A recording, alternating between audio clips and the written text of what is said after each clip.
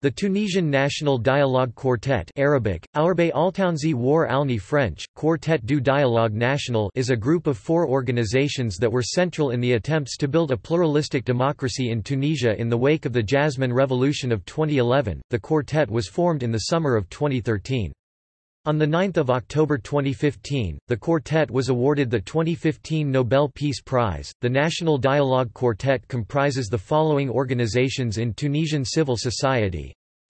The Tunisian General Labour Union UGTT, Union Générale Tunisienne du Travail The Tunisian Confederation of Industry, Trade and Handicrafts UTICA, Union Tunisienne de l'Industrie, du Commerce et de l'Artisanat the Tunisian Human Rights League LTDH, La Ligue Tunisienne pour la défense des droits de l'homme The Tunisian Order of Lawyers Ordre National des Avocats de Tunisie Topic. Background to formation In 2011, Tunisia was experiencing a revolution. In its wake, the stability and security of the country were considerably compromised. After the creation of the Assemblée nationale constituante Constituent Assembly of Tunisia of 2011, the writing of a new constitution proved difficult and the one-year deadline for its final ratification passed without much progress. During this time, the government was criticized for its lax attitude towards radical Islamists. Several attacks took place, the most widely reported was the assassination of Chokri Belaid on 6 February 2013. Consequently, tensions between the Tunisian government's Islamist majority and its opposition increased. There were huge opposition-led protests in the summer of 2013 which threatened the continued existence of the national government at that time. After the assassination of Mohamed Brahmi on 25 July 2013, Belaid and Brahmi's group, Popular Front, banded with the other opposition parties into a group named the National Salvation Front. This group organized the Bardo Street protest, calling for the government to resign. In addition, 42 opposition members withdrew from the assembly.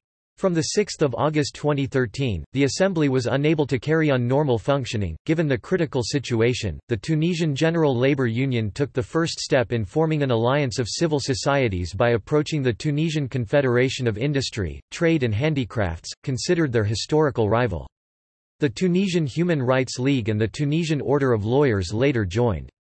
The role of the UGTT throughout the Jasmine Revolution and transition period was recently discussed in the following journal article, No Ordinary Union, the role of the UGTT in the Tunisian path to revolution and transition.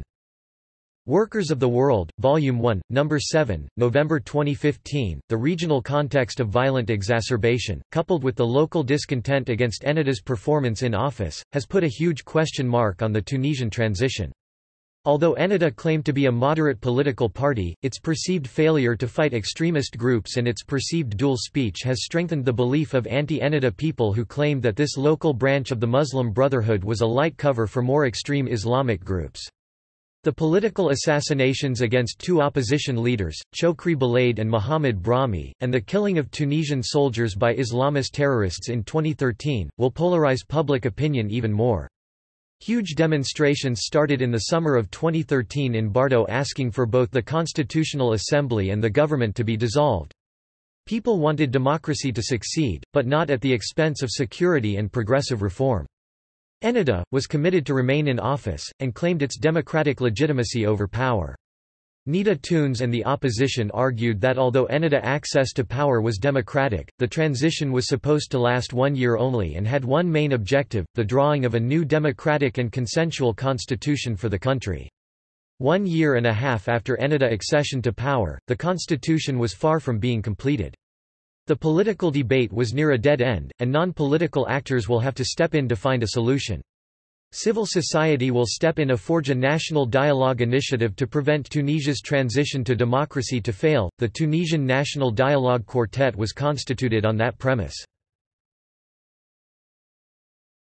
Topic: Activities. On 29 July 2013, the Tunisian General Labour Union called for negotiations between the parties in power and the opposition. The parties accepted in September 2013, as the situation was worsening. On 17 September 2013, the initiative was made public and placed under the aegis of the Labour Union and three other civic organisations, the Tunisian Confederation of Industry, Trade and Handicrafts, the Tunisian Order of Lawyers and the Tunisian Human Rights League. On 17 September 2013, the four organizations drafted an agreement between the parties suggesting compromises that would allow negotiations to commence. This draft roadmap had four main points, the resignation of the government and its replacement by an independent technocratic government, the choice of fixed dates for parliamentary recesses and elections including presidential elections, the agreement to preserve national identity in the new constitution, and negotiation of the steps necessary for the transition to a democratic government including deadlines for each. Each political party had to accept the roadmap if it wanted to participate in the negotiations. Twenty-one parties from both sides signed the agreement, making the national dialogue possible. The only major party that refused to participate was the party of interim President Moncef Marzouki, the Congress for the Republic, which was one of the three parties in power. The first dialogue session took place on 5 October 2013, at the Palais des Congrès in Tunis. During the discussions, a slip of the tongue substituting the similarly pronounced Arabic word, jackass, in place of dialogue by Abdessattar Ben Moussa, president of the Tunisian Human Rights League caused gales of laughter among the delegates, even Rached Ghannouchi, president of the Ennahda party. After the initial session, subsequent talks continued regularly, under the aegis of the Quartet, at the Transitional Ministry of Human Rights and Justice. During these discussions, the Quartet played an active role which was considered important to the success of these talks. They led to the choosing of Mehdi Jomaa as Prime Minister on 14 December, the resignation of the government of Ali Larayedh on 9 January 2014, the ratification of the new constitution on 24 January and presidential elections in December. 2015 Nobel Peace Prize On 9 October 2015, the quartet was awarded the 2015 Nobel Peace Prize for its decisive contribution to the building of a pluralistic democracy in Tunisia in the wake of the Jasmine Revolution of 2011. Kaci Kullmann Five, head of the Nobel Committee, said, "...it established an alternative peaceful political process at a time when the country was on the brink of civil war." The Nobel Committee said it hopes Tunisia will serve as an example for other countries. Reaction Tunisian President Beji Caid Essebsi said the award recognizes the path of consensus and Tunisia has no other solution than dialogue despite ideological disagreements. Mohamed Fadhel Mahfoud, head of the Tunisian Order of Lawyers, said that the award is the recognition of a whole process. It's a process that started so that Tunisia would have a democratic system, that respects freedoms. And, it's also a message to the rest of the world, to all countries, to all the people who aspire to democracy and peace." U.S. President Barack Obama called the quartet, an inspiring reminder that lasting peace and security can only be achieved when citizens are empowered to forge their own future and that democracy is possible and necessary in North Africa and the Middle East. German Chancellor Angela Merkel's spokesman Stefan Seibert said that the Nobel Peace Prize is the deserved reward for working on democracy, for sticking to the idea that a people that has shaken off dictatorship deserves something better than a new dictatorship.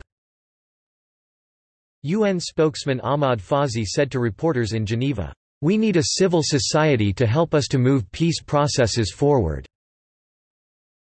Ban Ki-moon said, "This recognition belongs to all those who gave birth to the Arab Spring and are striving to safeguard the sacrifices of so many."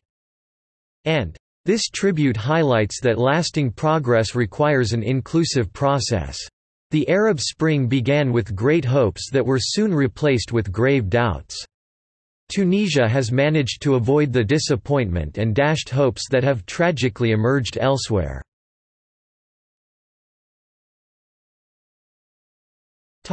References